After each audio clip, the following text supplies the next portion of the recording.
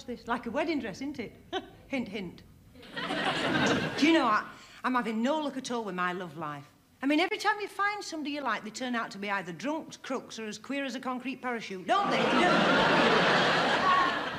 Do you know, I met a lovely fella last year. No, I did. I met this lovely fella last year at a dance. I, I was just sat sitting there, you know, and he just walked up to me, you know, smart but casual in his white ankle socks, and he said to me, he said, uh, would you like to dance? I said, I'd love to. He said, oh, good, you'll not be needing your chair then. so, no, he, he were ever so little. He was, he, he used to play fullback for Subbuteo, actually. Ever so little like that. Very athletic. In fact, he confessed to me he was a member of Athletics Anonymous. Yeah.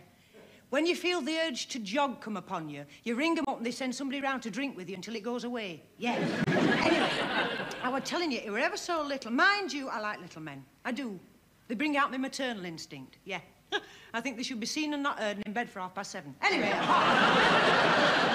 the thing, I don't know if there are any more tall ladies in the audience, but the things that go through your mind when you're dancing with a little fella, it's most upsetting, you know, you're there, aren't you, like that, and you think, oh, dear, how am I going to talk my way out of love bites on my knees? I wonder if you can see up my nose. you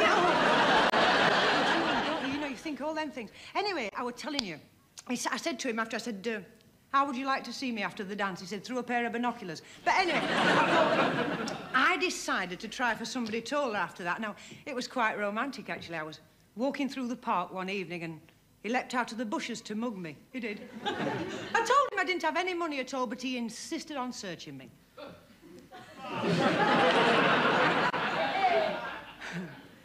no, honestly, after about half an hour, he hadn't found a thing.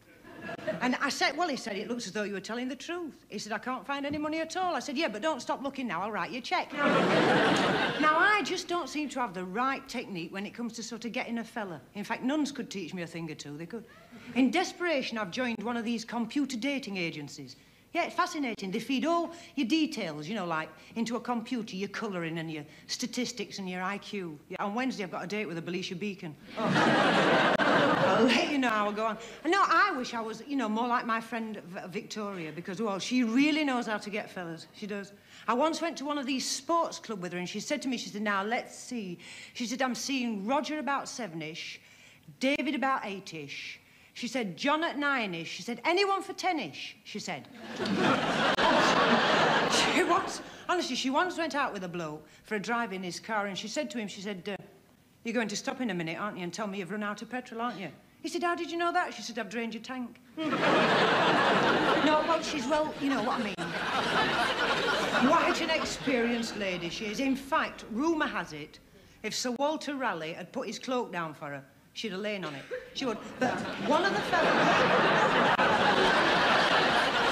no, one of the fellas he once said to her, he said, tell me, Victoria, tell me, he said, am I the first man who ever made love to you? She said, do you know, you could be, your face is vaguely familiar. she, she had a rather embarrassing experience the other day. She, she was stood waiting for a bus in a very tight skirt. And, well, she had to wait for quite a long time because you don't find many buses in tight skirts, do you? Anyway, she stood in this tight skirt. And she knew that when the bus came, she'd have trouble getting on. So she reached stealthily behind her like that and loosened a zip. And when the bus arrived, the man behind her picked her up and put her on it. She said, why did you do that? He said, well, you know, after you pulled my zip down, I thought we were friends, you know.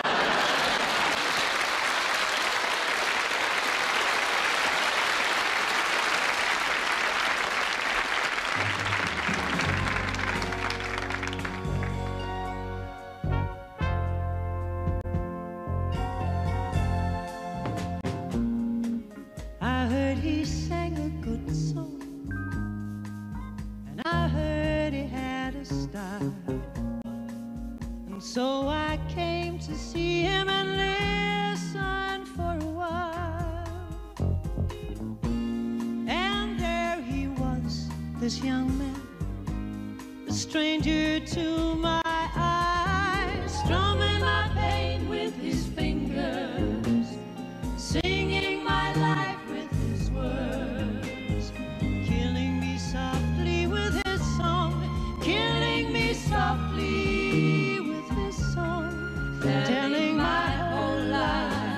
with his words killing me softly with his song.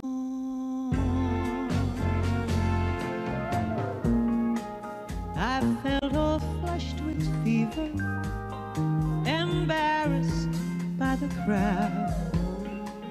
I felt he'd found my letters and read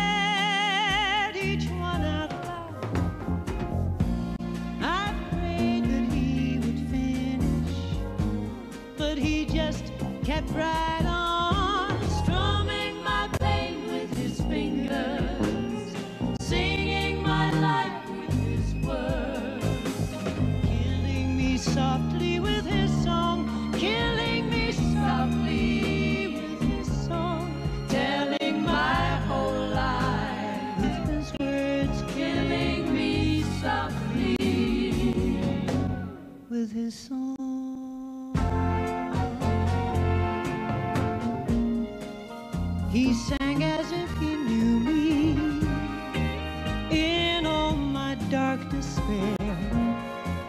And then he looked right through me as if I wasn't there.